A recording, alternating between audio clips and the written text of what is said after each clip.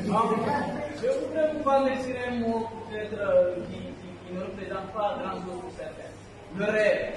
On sait que de rêver. J'avais eu d'aller en Allemagne en 2021, en novembre. J'ai mon oncle là-bas qui a fait presque 30 ans là-bas. Il s'est marié avec une Allemande, il est professeur de français. Lorsque je suis allé là-bas, on m'a expliqué quelque chose qui m'a fasciné, que je peux partager avec vous. On, m'a parlé d'un village qui est dénommé Amérique. Vous pouvez aller sur Google chercher l'histoire de ce village. Le mot Amérique, ils ont référé ça aux États-Unis d'Amérique. Il y avait deux groupes de jeunes qui avaient décidé et rêvé d'aller tous aux États-Unis pour réaliser le rêve américain. Ils sont divisés en deux. Le premier groupe a eu la chance d'aller aux États-Unis et réaliser leurs rêves américains, travailler et réaliser de grandes choses. Et le second groupe n'a pas eu la chance comme le premier groupe. Donc, le second groupe se, sont dit, parce qu'on n'a pas eu la chance comme le premier groupe d'aller aux États-Unis, nous aussi nous allons faire notre États-Unis ici. Donc, ils ont commencé par quoi? Par changer le nom du village.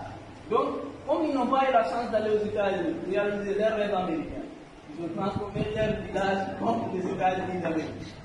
Qu'est-ce que je veux passer par là? C'est pas parce que moi j'ai eu la chance d'aller aux États-Unis que vous, je sais que la majeure partie des jeunes actuellement leur rêve principal c'est d'aller aux États-Unis. Oui, je le souhaite et je l'encourage.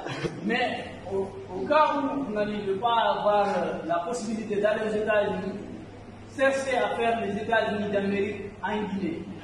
Cherchez à réaliser votre rêve ici. Travailler et. Donc, la, la place géographique, c'est un atout.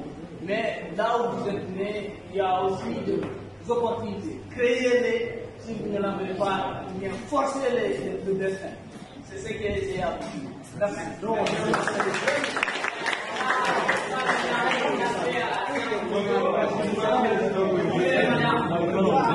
D'abord, les invités, je vous ai arrêté la vidéo pour faire ce retour maintenant. Voilà.